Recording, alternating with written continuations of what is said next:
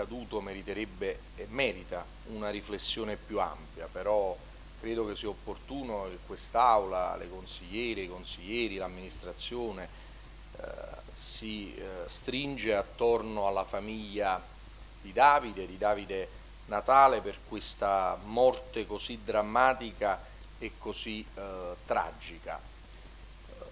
Penso che ieri pomeriggio, per chi avesse ancora qualche dubbio, si è avuto la conferma di che cosa significa il cambiamento climatico. Un terremoto atmosferico, venti che hanno raggiunto i 130 km orari e danni da bilancio da terremoto. Noi oggi abbiamo una persona che è deceduta, abbiamo dei feriti, abbiamo dei crolli,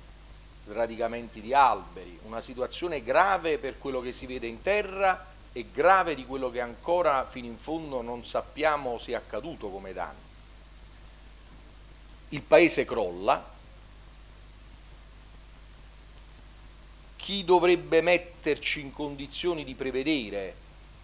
non è in grado di fornire indicazioni tali da poter prevedere tutto, quello che è accaduto ieri era nell'ambito di un'ordinaria criticità d'allerta gialla credo che quello che è accaduto ieri pomeriggio superava di gran lunga l'allerta gialla, ma lo dico da un punto di vista empirico perché noi non siamo tecnici, scienziati o persone preposte a fare queste valutazioni. È un tema di cui abbiamo discusso con grande concretezza, efficacia e correttezza tutti noi sindaci qualche giorno fa con il capo nazionale della protezione civile e si deve cogliere questa drammatica circostanza e questa giornata così difficile per la nostra città ma per il Paese. L'ultimo aggiornamento parla di nove morti, tantissimi feriti, un Paese distrutto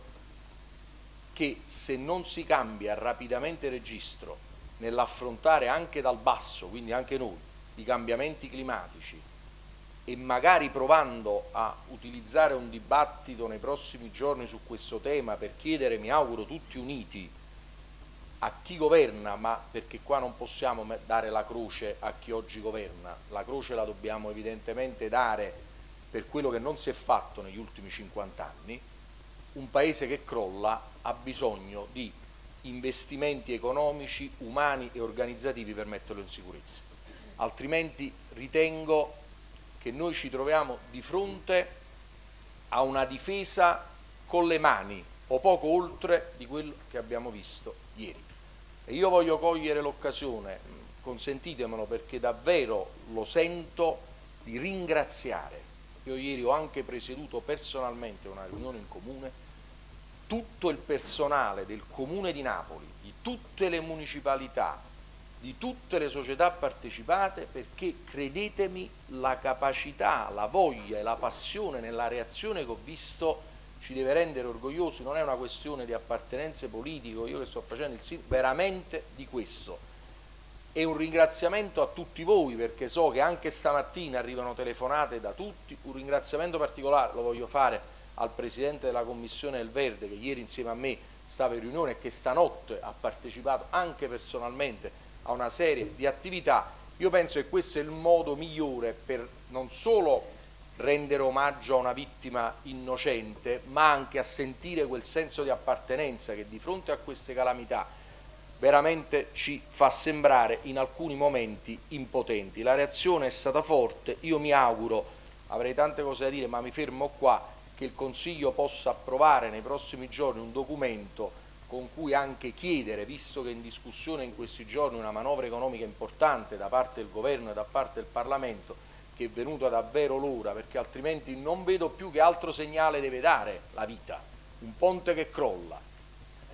città, territori, eh, campagne e montagne distrutte come se fossero state attraversate da un terremoto, soltanto che un terremoto atmosferico, io credo che con l'assenza di risorse che hanno i sindaci dal sud al nord del paese, Napoli non ne parliamo proprio, e l'assenza di mezzi, in questo modo io credo che veramente diventa un'impresa eh,